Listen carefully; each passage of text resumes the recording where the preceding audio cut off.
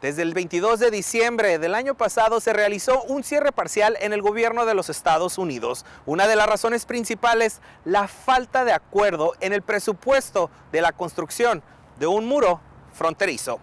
El presidente de los Estados Unidos, Donald J. Trump, pide un presupuesto de más de 5 mil millones de dólares para la construcción de un muro, que desde los inicios de su campaña electoral ha sido uno de sus objetivos. Hasta el momento, se desconoce cuánto tiempo más durará este cierre parcial del gobierno de los Estados Unidos, aunque el presidente Trump advirtió a través de sus redes sociales que puede durar mucho más tiempo de lo que se tiene pensado, ya que es un tema demasiado importante para dejarlo pasar, además de anunciar de un cierre temporal en las garitas. El financiamiento para el proyecto de Trump del muro a lo largo de la frontera entre México y Estados Unidos ha sido el punto conflictivo en la aprobación de los presupuestos de varias dependencias gubernamentales. Para 50 en 50, Juan Villanueva.